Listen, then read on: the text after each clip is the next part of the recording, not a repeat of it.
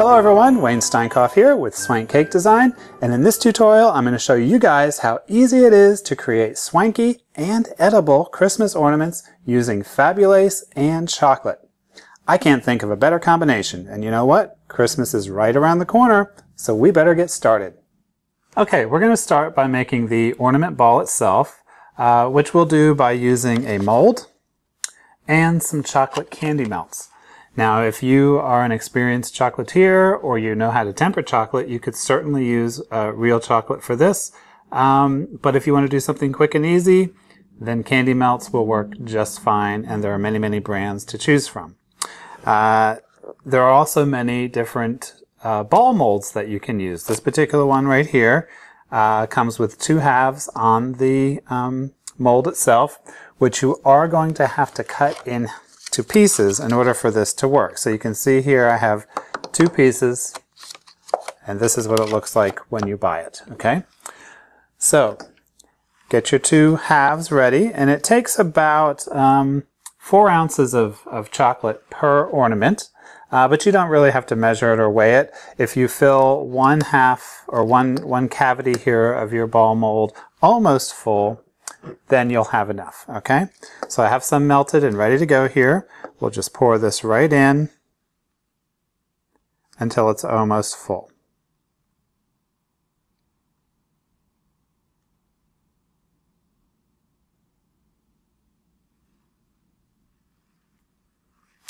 Okay.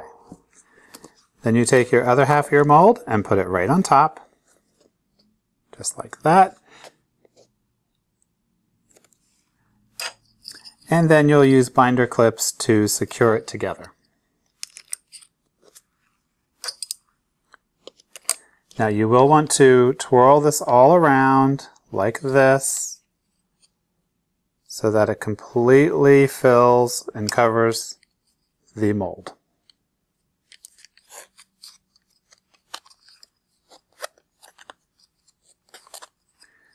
Now this is the part where you can't really multitask because you're going to have to put this in the refrigerator, set your timer for two minutes, okay? Set it in there just like this, set your timer. When the timer goes off, go in the refrigerator, turn it over, but don't just turn it over, give it a little shake like this, okay? Put it back in the refrigerator for two minutes. Two minutes goes by, take it out, flip it over, give it a shake. You'll want to do that for five times. So that's a total of 10 minutes there that you're going to have to really pay attention to this. Uh, if you don't, you could run the risk of having a thin spot or in the wall of the ball, and then it could crack or even break on you. So really pay attention to it. And uh, if you want to make multiple ornaments, you could definitely do that. But two minutes per rotation and do that for uh, five times. After that fifth time, uh, the chocolate inside is going to be hard enough that it won't move around anymore and you won't have to do anything to it. But you will need to leave it in there for at least another 10 minutes before it will be ready to come out of the mold. Uh, when you remove it from the refrigerator after the second 10 minutes, if the mold gives you any resistance when you're pulling it apart, it's just not ready. You'll need to put it back in and then just watch it. Okay? So we'll put this aside and I will show you what it looks like uh, when one is ready. So here I have one, okay? And what I usually do is I'll take one half off like this, and then I'll cup the other half in my hand and pull it out like that. Now most of the time when you're handling chocolate, you will want to use gloves or something that would prevent you from dulling the surface of your chocolate or getting fingerprints on it. But in this case, we do want to dull it down because we're going to put some luster dust on it. So you don't really need to wear gloves for this if you don't want to, but we do need to get rid of that seam. See how pronounced that seam is right there. And I'm just going to use my plastic scriber tool.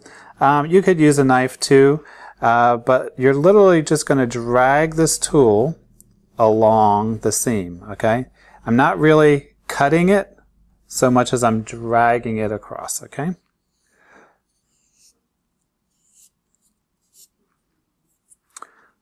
Okay, once you're happy with that, then you want to go ahead and, and get off any uh, little stray pieces of chocolate.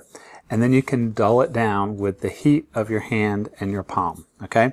Now, if you have really hot hands, you don't want to handle this for too long because you'll melt it. So if you have hot hands, you can keep an ice pack off to the side to cool your hands off with, um, but just make sure that you don't melt the ball and just get it dulled down. All right, once you're happy with that, then we can go ahead and color it. Um, but I do want to put a little piece of a bamboo skewer in there so that I don't have to touch it with my fingers after I apply the color. Now, where you put this bamboo skewer should be the top of the ornament and will, the hole will be covered up by the uh, ornament cap. So on this particular one, um, the seam that's going around the middle there I am going to cover with a piece of lace. So either this or this will be the top. So the one thing you want to make sure when you're doing this is you don't want to wiggle this around like this. You literally want to drill it in uh, so that it hangs on to this and it doesn't make too big of a hole. Okay? So I'm going to go right to there. And like I said, I'm just drilling. Okay? I'm pushing and drilling at the same time. If for some reason this side of your ornament is thin, then you can switch it around and put your um, skewer in on the other side and try that, okay? But this is what we're looking for. Now you don't necessarily want to pick this up and twirl it around. You just want to be able to hold it while you're putting the rest of your luster dust on there, okay? Now, the luster that I'm using is going to be Ultra Pink from the Sugar Art. And I'm just using a, a dry, fluffy brush to put the luster on. Okay? And you could use really any color that you want to. And you notice I started with a, a pinkish colored chocolate for the, for the ball itself. That sort of gives me a nice background color. Sort of like a primer when you're painting.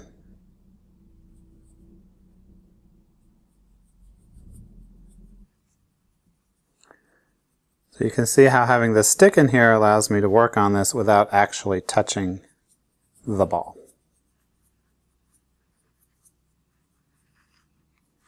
And I can carefully turn it upright and finish putting my, my dust on there.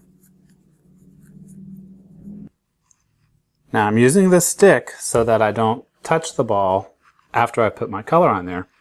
And the reason being is the color will come off on your fingers and leave little spots. So uh, in order to seal in that color, I'm going to spray this with a clear edible lacquer. All right.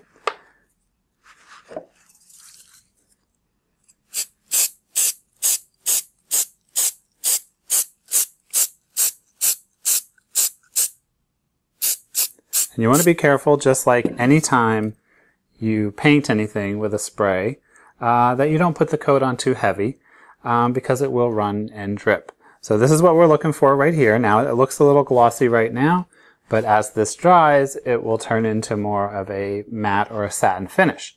Uh, if you did want it extra glossy, let, let this first coat dry and then put on another coat and it will be nice and glossy. Okay, but I'm going for more of a satin or a matte finish on my ornaments. And I have one here ready to go. Okay, and this is what it looks like when it dries. So we have a nice satin finish. So now we're ready to start decorating it uh, with our lace. Now we are using Fabulace for this. Uh, Fabulace is our edible, flexible sugar lace. And if you're not familiar with Fabulace, go ahead and check out our other uh, five minute little tutorials that I did. They're, and they're called Fabulace Quick Tips. And that will get you um, accustomed to everything that you need to know about Fabulace. Okay, so I have a strip here ready to go. All right, and I've pre-measured this strip so that I know it goes around my ball perfectly. Okay, now you're wondering how do I get my lace to stick to the ball? Well, we're going to use water for this. You can use water, you can use piping gel, You can use Tylose glue. You can use several different things as glue. Um, but you want to make sure that it doesn't stay too wet too long. So I'm just going to use a few quick spritzes of water. And you can do this with water through your airbrush or you can use a spritz bottle like I have here. All right, so I'm going to go ahead and spritz it.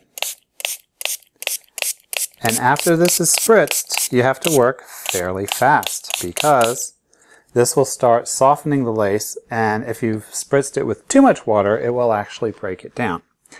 Now, because there is a seam around the center of this ball, that will actually help me line up where my lace is supposed to go. Okay, so we'll go ahead and lay this down right there. And I'm literally just going to roll the ball along the center of the strip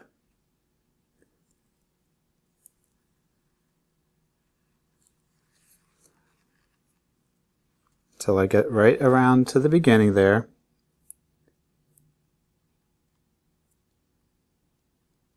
And you can barely see where those two meet, right? All right, now I can go ahead and press the lace into place.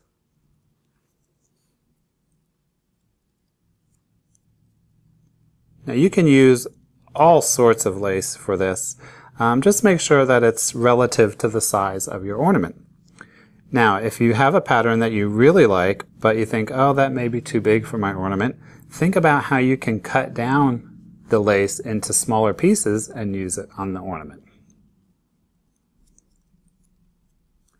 All right, look at how beautiful that is. Okay, but we are not finished because although that's pretty enough on its own and that will work as an ornament, I do want to put a little piece of lace on the top and on the bottom just to round it out. And it just so happens that I have these little guys right here that are the perfect size to fit in that area. Okay? So I'm going to go ahead and do the same thing. We'll spritz those.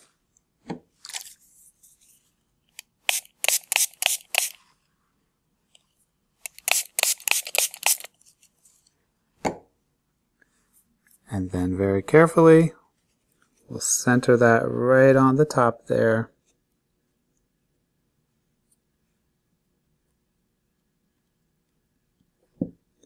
Now, if you have a piece of lace that's being stubborn and doesn't want to lay down and doesn't want to stick, then you can just take a, a paintbrush with a little bit of water on it, sneak up underneath a part that may not be sticking down, and just attach it that way. Okay?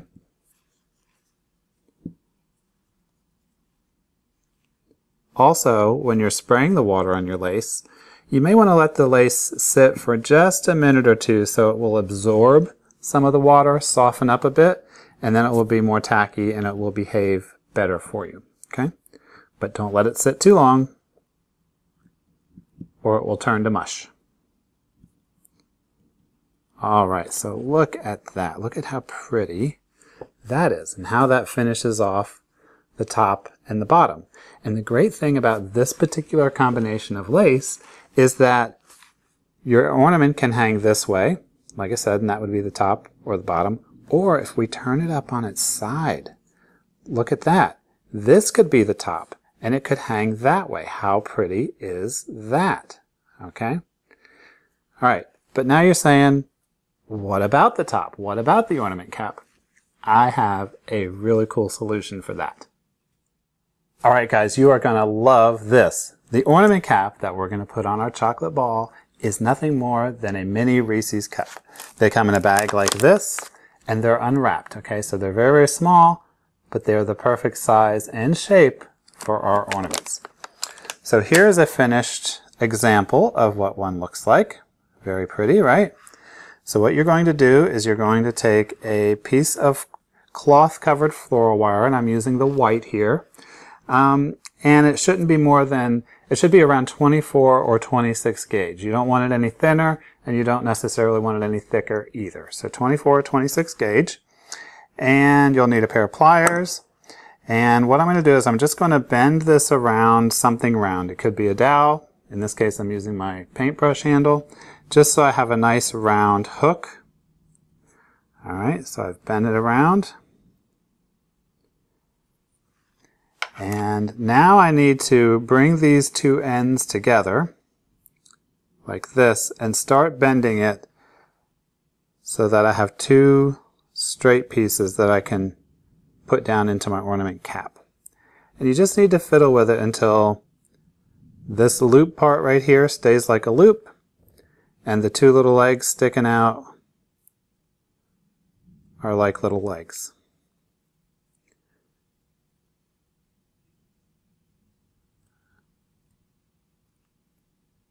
So that looks pretty good. Now I'm going to hold these two ends together like that. And if you have a piece that's a little bit longer than the other like I have there, go ahead and cut that off because you want both sides to be the same length, okay? Okay, now like I said, we're going to take the piece and have the two straight pieces together and I'm just going to put it right down in the center of my Reese's cup and I'm going to push until I feel it touch the table. Okay? All right, and then you'll want to pick it up and then push it on through your Reese's the rest of the way. Okay? And you want to push it a little bit further than what you think you want, okay? Now I'm going to take my needle nose pliers and I'm going to hold on to my wire right there and I'm going to bend each one back at a 90 degree angle. Okay, so I have, you can see it there.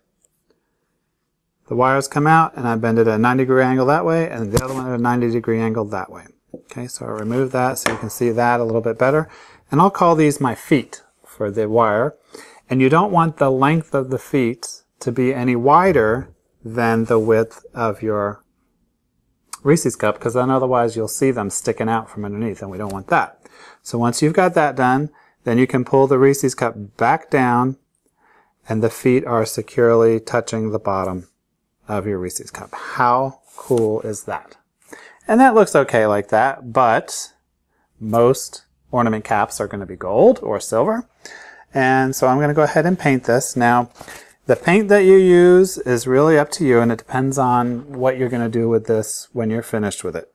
If you're not worried about anybody eating this, um, you could go ahead and use a highlighter, which is what I'm using. A highlighter is a non-edible paint uh, that we use to accent things that are not going to be eaten, and it's really highly metallic. Um, if you think that someone is going to eat this, then I would suggest using an edible luster dust. But just remember, you're not going to get the same metallic gold finish with a luster dust as you will with a highlighter. So I have some gold highlighter here, uh, mixed with Everclear, which is a grain alcohol that will evaporate very, very quickly. And I have it pre-mixed in my bottle for about a ratio of one part powder to one part alcohol. Okay, I'm going to put a little bit in my cup here so you can see that. Look at how beautiful that is. And then we'll just go ahead and paint our ornament cap. And that really makes all those little ridges in your Reese's cup pop out.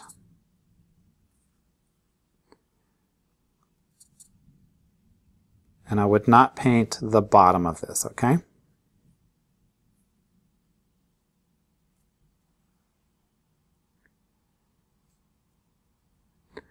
All right, now the one thing about highlighter is, is if you touch highlighter with your fingers after you've painted something with it, it could come off on your fingers, especially since this is a chocolate surface. So just like with the ornament, I'm going to go ahead and seal it up with some clear edible glaze, okay?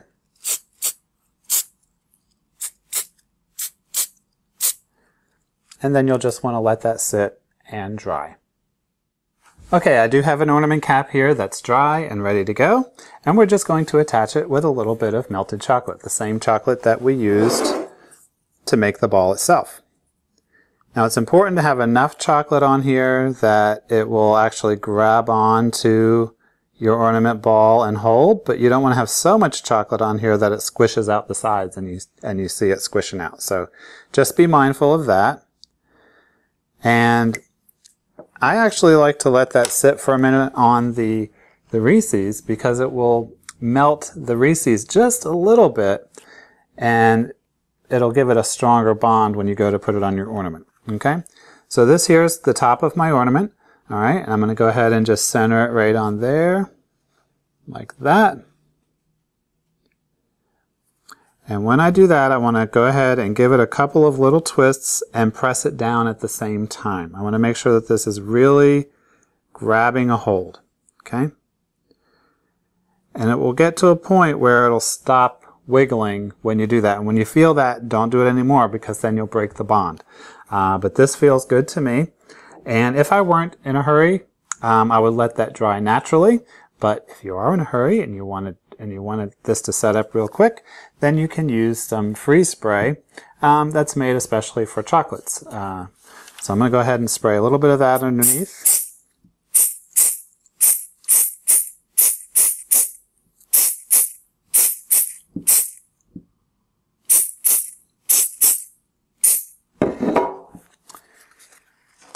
And when you are ready, you can go ahead and get your ornament stand, just like that, and put it on there. Look at how pretty that is. And I have another one here in a different color, a different lace pattern. And, and this was actually a bigger lace pattern that I cut the pieces down and, and used them uh, individually like that. Look at how pretty that one is. So you can use your ornaments to decorate a tree, a wreath. You can use them in a centerpiece on your Christmas table. You can hang them on ornament stands like this. Or you can even give them as gifts. Look at what I found at the dollar store. This very cool, move it out of the way, this very cool little gift box, okay? Just put some tissue in, just like that. And then you can put your ornament, chocolate ornament inside. Now, wouldn't that make a very cool gift? And remember, Fabulace isn't just for decorating cakes or chocolate ornaments. You can also decorate cupcakes and even cookies with it. Well, I hope you've enjoyed this tutorial and I have inspired you guys to make some swanky Fabulace ornaments of your own. And remember, you can find most of the items that we used in this tutorial in our online shop at swankcakedesign.com slash shop. And if you want to keep up to date with all things Fabulace and Swanky, make sure that you follow our Fabulace Facebook page, as well as our Swank Cake Design Facebook page. And sign up for our newsletter while you're there so you don't miss a thing. Happy holidays, guys!